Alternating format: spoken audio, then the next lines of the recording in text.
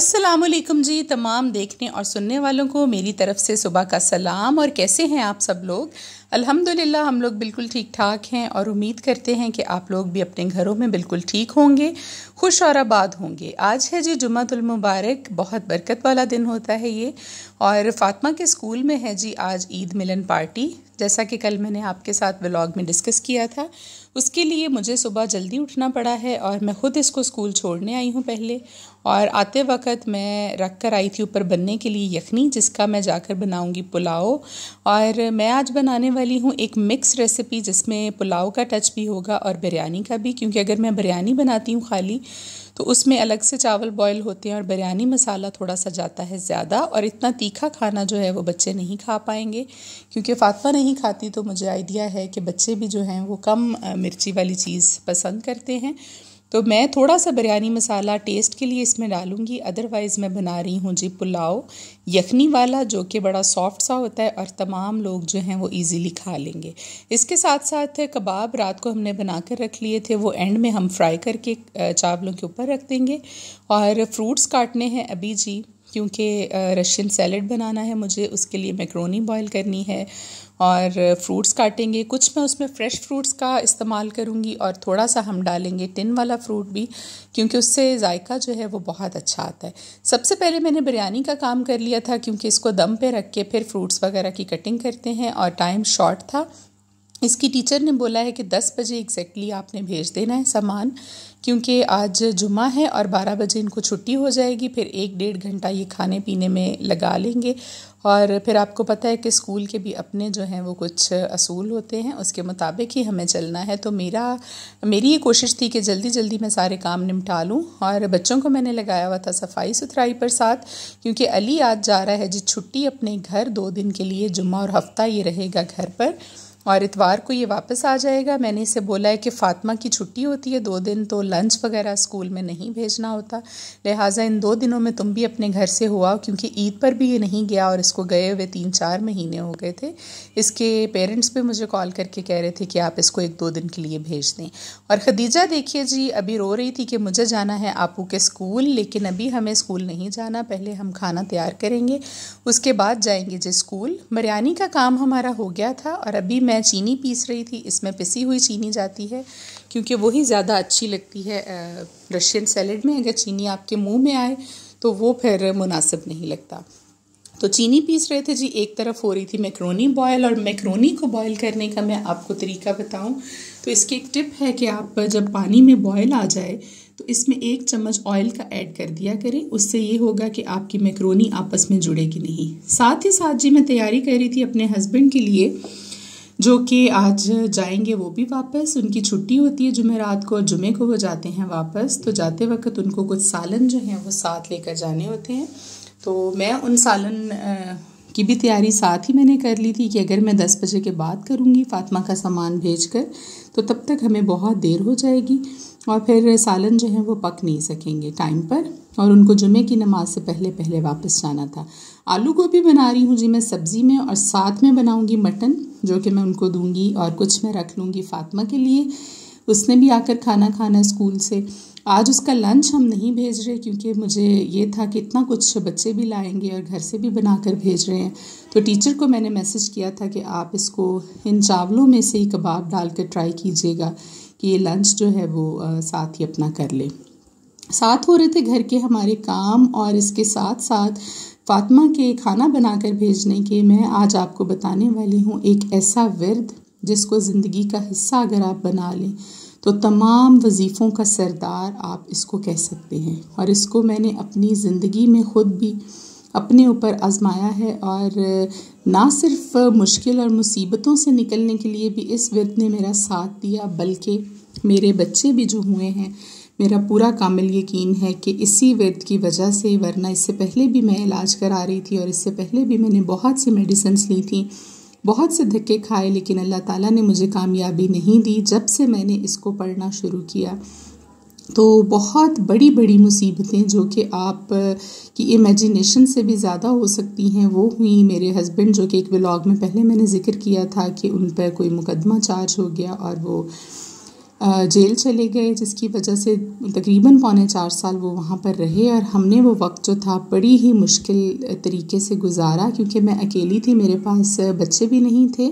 और इतनी बड़ी मुसीबत थी कि लगता था इससे कभी हम निकल नहीं पाएँगे। लेकिन अल्लाह ताला ने अपना रहम और करम किया और इतनी इस्तात दी हमें कि उसके ज़िक्र को हम अपने मामूल का हिस्सा बना सकें।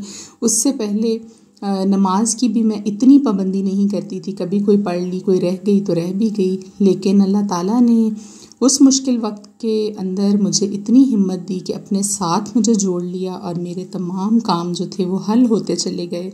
और हज़रत अली से एक मरतबा एक शख्स ने पूछा था कि हमें किस तरह से पता चलेगा कि जो मुसीबत हम पर आई है, ये मुसीबत है या कि आजमाइश?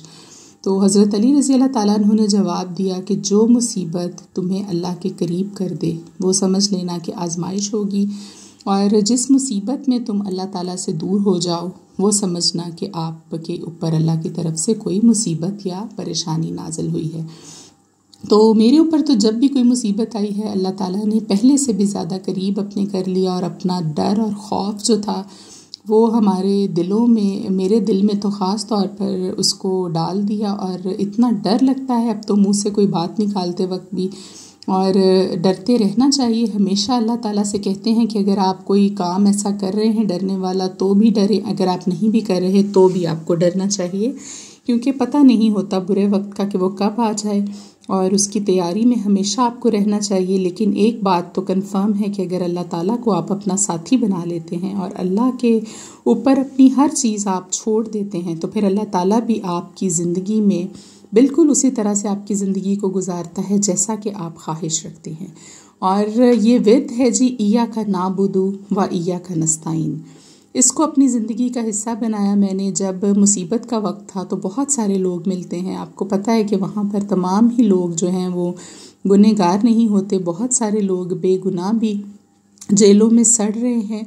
उन बेचारों के पीछे जो आते हैं लोग मुलाकात के लिए, उनसे बात करके अंदाज़ा होता है और आपको लगता है कि मेरी तकलीफ़ इनसे भी कम है। तो एक ख़ातून थी जिन्होंने मुझे इसके बारे में बताया और मैंने इसको पढ़ना शुरू किया। इसकी कोई तादाद नहीं है, कोई कैद नहीं है। वक्त की सुबह शाम सोते जागते आप जब मर्ज़ी मतलब हर वक्त दिन में इसको अपना मामूल का हिस्सा बनाएँ और ईया का नाबुदू व ईया का नस्ताइन का वर्द आप करते रहें तो इन कोई भी बड़ी से बड़ी मुसीबत, मैं तो समझती हूँ जो मुसीबत हम पर आई थी, इससे बड़ी भी कोई मुसीबत हो सकती है क्या?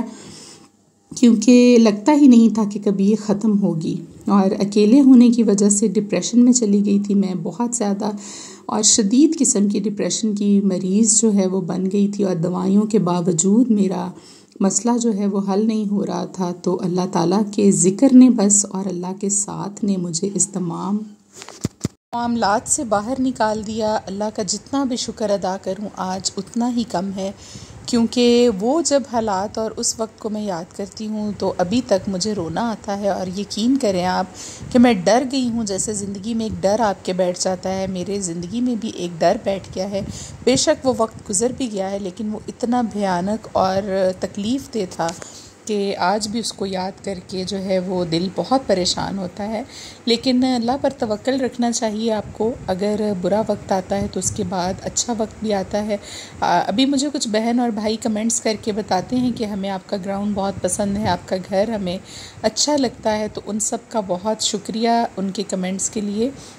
लेकिन मैं आप लोगों को ये बताती चलूँ कि हमेशा से ज़िंदगी इसी तरह से नहीं थी जैसे अभी आपको नज़र आती है। मैंने बहुत मुश्किल वक्त भी देखा है, बहुत कठिन वक्त भी देखा है और उस एज में देखा है कि जो इतनी बड़ी एज नहीं होती, इक्कीस बाईस साल की उम्र आपकी हो तो वो क्या उम्र होती है इतनी कि आप इतनी टेंशनस को बर्दाश्त कर सकें। लेकिन अल्लाह के बस मैं समझती हूँ कि अल्लाह की मदद है। जिसके बाद इसमें से निकल आई मैं और आज देखिए अल्लाह ताला ने मुझे घर की हर सहूलत भी अल्हम्दुलिल्लाह दे दी और बच्चे भी दिए। सबसे बड़ी नेमत तो ये है। अभी जी ये आपको मैंने बता दिया इसको आप कोई भी किसी भी वक्त आप इसको पढ़ें और मेरी तो ये आ, मैं तो ये कहती हूँ कि आप इसको हर वक्त अपनी ज़िंदगी का मामूल बना लीजिए। जो लोग बे औलाद हैं, अक्सर मुझे उनके मैसेजेस आते हैं। इसके लिए एक व्लॉग पहले मैंने अपलोड किया था, मेरा सेकंड या थर्ड व्लॉग है वो, जिसमें मैंने ये बताया है कि अल्लाह ने मुझे किस वजीफ़े की वजह से 11 साल के बाद औलाद की खुशियों से नवाजा। तो वो यही था या का नाबुदू व या का नस्ताइन का। लेकिन औलाद के लिए अगर आपने पढ़ना है तो फिर हर रोज़ आपको दो रकात नमाज़ नफल हाजत पढ़नी है और उसके बाद आपको एक सौ एक मरतबा ये पढ़ना है या का नाम बुदो या का नस्ताइन अव्वल आखिर दरूद पाक के साथ। तो आप इसको जारी रखेंगे अगर। तो इन इसी अमल से मेरी ये बेटियाँ जो आपको वीडियो में नज़र आ रही हैं, अल्लाह ने मुझे अता की, क्योंकि इलाज मुआवजे तो बड़ी देर से चल रहे थे, लेकिन हमें उसमें कामयाबी नहीं हुई थी। लेकिन जिस महीने मैंने इस वर्द को शुरू किया, आप यकीन कीजिए कि अल्लाह ने मुझे औलाद जैसी नेमत से भी नवाज़ दिया। तो इस पर मेरा बहुत कामिल यकीन और भरोसा है। इसका मतलब ही ये है कि अल्लाह ताला, मैं तेरी इबादत करता हूँ और तुझी से मदद माँगता हूँ। तो जब आप अल्लाह से मदद मांगते हैं तो उसके बाद कौन सी मदद रह जाती है पीछे? जो कि आप जिसको एक्सपेक्ट करते हैं क्योंकि अल्लाह ताला की ज़ात के बगैर कोई भी आपको नवाज़ नहीं सकता और कोई भी आपको दे नहीं सकता। बस अल्लाह कहता है कि मेरे अहकाम की रोशनी में अपनी ज़िंदगी गुजारो, जो मैंने आप पर फ़र्ज़ कर दी इबादतें और चीज़ें और हकूक़ल इबाद आप उनका ख्याल रखें। उसके बाद अगर आप मेरी चाहत के मुताबिक अपनी ज़िंदगी को गुजारेंगे तो मैं तुझे वो भी अता कर दूँगा। अल्लाह कहते हैं कि जो तेरी चाहत है। तो सबसे पहले आपने अल्लाह की रज़ा को पूरा करना है, उसके बाद आपकी एक्सपेक्टेशंस रखें। ज़रूर कामिल यकीन के साथ कि अल्लाह ताला भी आपको ज़रूर नवाज़ देंगे। आपसे बात करते करते देखिए जी, हो गई थी शाम और आज का सारा दिन तो मेरा गुजर गया। खाने पकाने में ही और फातिमा को ट्यूशन लेकर जाना और आना, ये भी एक ज़िम्मेदारी है बहुत। अभी मैं थक गई थी, बहुत और चाय पी रही थी, चाय पीने को दिल चाह रहा था, उससे ज़रा थोड़ा सा मैं फ़्रेश हो जाऊँगी। खदीजा खेल रही थी, ये लेट उठती है सुबह थोड़ा, अभी इसका स्कूल वगैरह का तो कोई वो नहीं है, इसलिए इसकी कोई रूटीन नहीं है, ये खेल रही थी, लेकिन फ़ातिमा को आ गई थी नींद, उसको मैंने इसकी मेडिसिन वगैरह देकर सुला दिया था जल्दी, क्योंकि रूटीन में ख़राब नहीं करूँगी। हफ़्ता और इतवार दो दिन छुट्टी होती है। अगर इसमें रूटीन ख़राब हो गई तो फिर दोबारा से स्कूल के लिए उठना उसके लिए बहुत मुश्किल हो जाएगा। तो आज का बस छोटा सा ये व्लॉग था। आपके साथ अपनी रूटीन शेयर करनी थी और ये व्यर्थ मैंने शेयर करना था।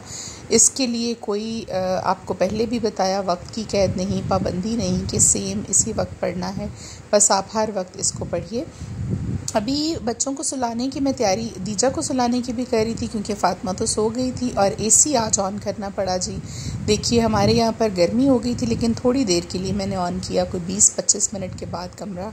थोड़ा सा ठंडा हुआ तो फिर एसी को हमने कर दिया था जी बंद। अगर हमारी वीडियो आपको अच्छी लगी तो आप प्लीज़ हमारे चैनल को सब्सक्राइब कर दीजिए, इसको लाइक और शेयर ज़रूर कीजिएगा, अपनी दुआओं में याद रखिएगा।